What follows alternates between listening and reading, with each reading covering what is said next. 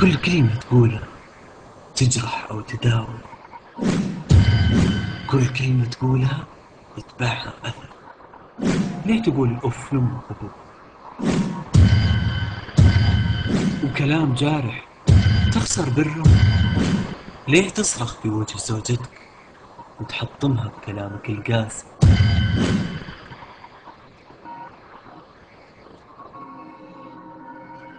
حتى أولادك حارمهم الكلمة الحلوة وكل اللي يسمعونه منك سب وشتم وتجريح.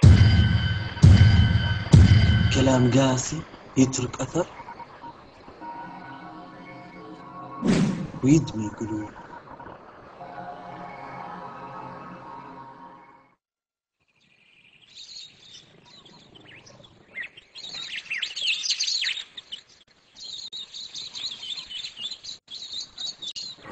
كلمة حلوة بابتسامة. تداوي كل قلب انجرح.